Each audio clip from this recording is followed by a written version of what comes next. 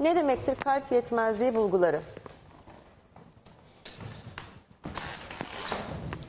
Evet. Şimdi bu kalbimiz belki şekil olarak uygun Tamam. değil. Bu beynimiz, akciğerler, kalp, karın, Evet. ayak Tamam. ve böbrek. Şimdi kalbimiz Siz çok güzel çizmişsiniz Evet. hocam. gibi gibi. Evet. Kalbimiz vücudun e, pompasıdır. Tamam. Amacı nedir? Bütün kanı beyne, böbreğe, bütün vücuda pompalar ve besler. Tamam. Bunu yaparken de bu şekilde kasılır. Duvarları birbirine yapışır. Yani bu sağ kalp, bu sol kalp. Bakın sağ ve sol Evet. kasılır. Bunun gücü bu şekilde 60'tır. Bu 60 ile bu pompalama gerçekleşir. Beynimiz, böbreklerimiz beslenir. Eğer bunun gücü 50'nin altına ya da 40'ın altına düşerse de bu sefer şu şekil kasılır. Evet. Pompalama zayıflar.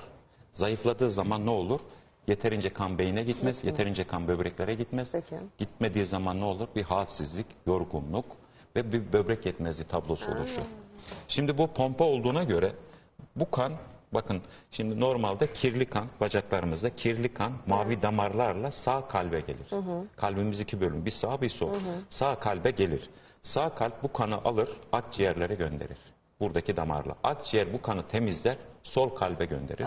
Sol kalp de bunu pompalar beyne ve böbreklere. Vay vay vay vay. Bakar? Mekanizma budur. Mekanizma müthiş. Şimdi eğer e, kalp yetmezliği geliştiği zaman yani kalbin gücü 40'ın altına düştüğü zaman bu pompa, bu sol kalp kanı Temiz kanı beyne pompalayan ve, yani. Evet.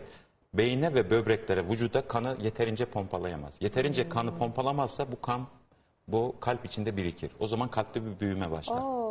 Kalpte bu büyüme başlarsa geri basınçla akciğerlerin alt taraflarında su toplamaya başlar. Kan birikir. İşte hani akciğerler su topladı ya Evet. kalp yerine. Ne olur akciğerler su topladığı zaman ve nefes darlığı olur. Sırt üstü yattığı zaman bütün su akciğerlerine yayılır. Ee, şey nefes darlığıyla uyanırlar. Onun için yüksek yatmak zorunda kalırlar. Akciğerde kan birikimi, sıvı birikimi olduktan sonra sağ kalpte büyüme olmaya başlar. Sağ kalpte büyüme olduğu zaman bu mavi damarlarda genişleme olur ve sıvı etrafa yayılır. O zaman karın şişliği olur. Karnımız, karaciğerimiz şişer. Ve alta doğru ayaklarımız şişer belirgin bir şekilde. Parmakla bastığımız zaman iz bırakır. İz bırakır. İşte bu kalp yetmezliği tablolardır. Bu kalp yetmezliği tablolarında genelde hastalar eğer EF 30-40 ise genelde hastalar akciğerler su toplar ya yüksek tansiyona bağlı birden oluşur ya da bir enfeksiyona bağlı. Bu hastalar genelde yoğun bakıma yatırılır. Vücudundaki bütün sıvı atılır. Ee, mesela e, 82 82 kiloydu. Geldiğinde 96 kiloydu bize. Hasta 12 kilo sıvı toplamış vücudu ama kilo aldığını zannediyordu. Çok da yoğun bakıma yatmış.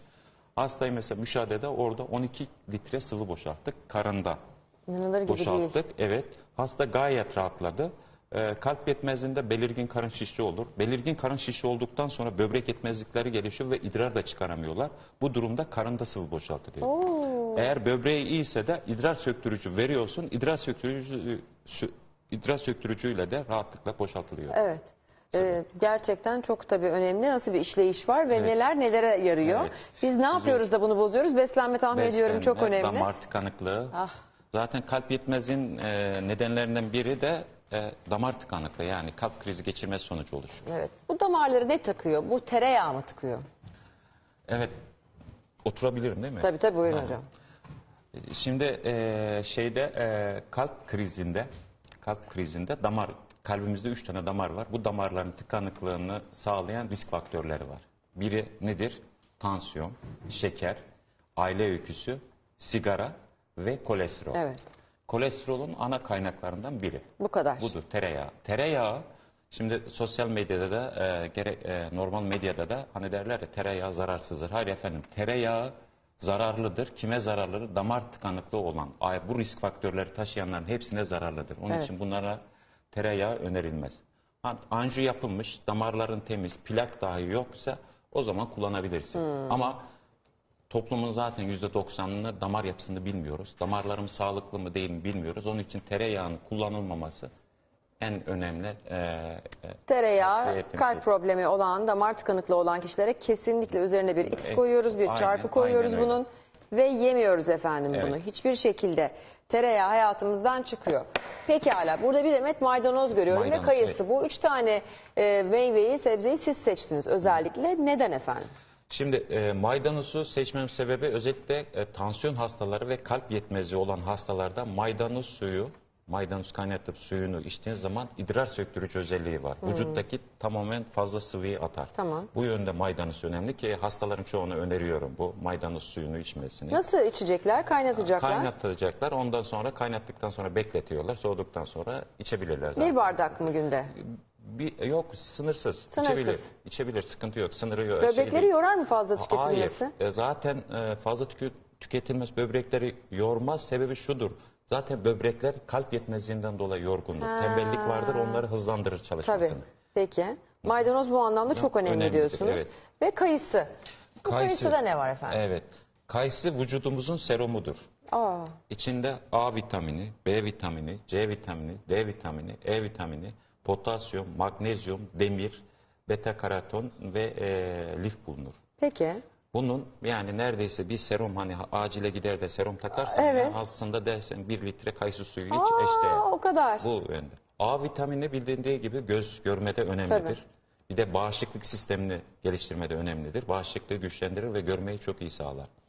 B vitamini zaten e, kan yapımı, de, demir eksi yani vücuttaki kan oranını arttırır. Evet. C vitamini yine e, bütün e, kemik yapısını güçlendirir. Aynı zamanda kolajen yapısını güçlendirir. E, potasyum var ki hipo, hipertansiyon ve damar sertliğine iyi gelir. korktum bari biraz kayısı. E, bir de magnezyum vardır ki rahatlama sağlar kaslarda. Bir diğer önemli özelliği Müthiş bir şeyden bahsediyorsunuz. Ne kadar yiyeceğiz çok bundan? iyi gelir. Bağırsak için çok iyi. Onu Bu evet. Bağırsaklarda mesela bağırsaklarda hani bunu yapıyorlar ya bunun mesela hoşafını yaparsan. Evet. hoşaf, saf kayısı suyu. Tamam. Her sabah aç karnına bir bardak alsınlar bağırsak sorunları yüzde elli kaybolur. Ay müthiş baba her sabah Aç e, karnına. aç karnına bir bardak kayısı suyu. Kayısı suyu saf. İçinde hiçbir şey olmuyor. Kayısıyı sıkmayacağız ama kayısıyı haşlayacağız onun suyunu içeceğiz. Haşlasan da haşlamasan da saf kayısı suyu olsun yeterli. Saf kayısı suyu çok bir de faydalı. bu kuru kayısı var kükürtlü. O kükürtlü kuru kayısı herkese her gün bir tane sabah öğlen akşam. O da kükürtlü olduğundan dolayı bağırsak antiseptiğini sağlar. İçindeki mikropları yemek borusundaki mikrop, ağız Gün içindeki kurusu, mikropları e, gün kayısı kurusu değil. değil. Kükürtlü sarı kayısı. Kükürtlü sarı kayısı gün diye kurusu ayrı bir değil. şey var, o da Aha. geçer. Kü- İçindeki kükürtten dolayı zaten antiseptik özelliği Tabii. vardır. Yani bağırsağın sağlığı da birçok şeye Evet, bağlı.